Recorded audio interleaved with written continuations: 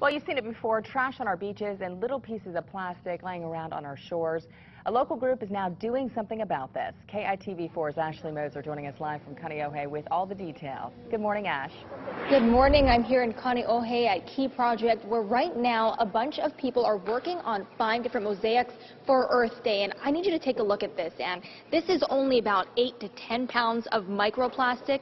These girls here have put together beach cleanups to collect these to make something beautiful. And joining me now is Shannon, the artist.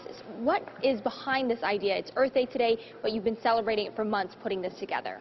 Yeah, through our Sustainable Coastlines beach cleanups, we collect so much microplastic, and it's so overwhelming and ugly and awful, and thinking, how can, what can we do to transform this, to send a message, to turn this trash into a message?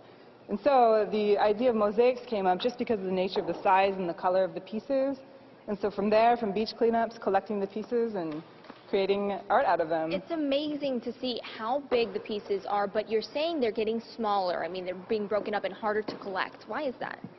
Uh, because the pieces are in the gyre, which between the currents, the salt, and the sun, they basically pulverize themselves in this big soup, and so they get smaller and smaller to particle size. That's crazy. And of course, we have the Girl Scout Troop 840 and Claire with me. So, Claire, you're saying it's kind of fun because you get to cut up these pieces yeah. to make it beautiful. Why is it important to make something, you know, take something from the beach and make it beautiful?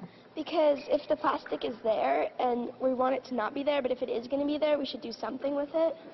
Because if you don't do anything with it, you're going to put it in a landfill, and it could end up back into the ocean. And how many girls are in your troop, and what do you have to do to make this project come? You have one out of the five panels. What are you planning to do?